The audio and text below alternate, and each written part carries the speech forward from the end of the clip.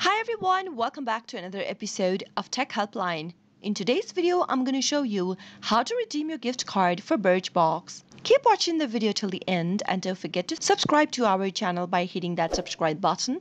Also press the notification bell icon so that you'll never miss another update from us. Open up a web browser to begin. Go to the address box at the top and type in www.birchbox.com and press enter on your keyboard. Make sure that you're logged into your Birchbox account and once you are logged in, you'll be able to see this kind of an interface. In order to redeem your gift card for Birchbox, first you'll need to go ahead and buy a product and during checking out, you can use your gift card as a method of payment. Select any product that you'd like and add it on your shopping basket. Once you do that, click open your basket at the top right and you'll be able to see your product displayed on the screen. At the bottom of the page, you'll be able to see a checkout button. If you click on that, you'll be taken to your checkout page. Go ahead and click on have a promo or gift card code link at the bottom of the page and simply type in your gift card number available on your gift card in the text box. Make sure to type in your information correct and click on apply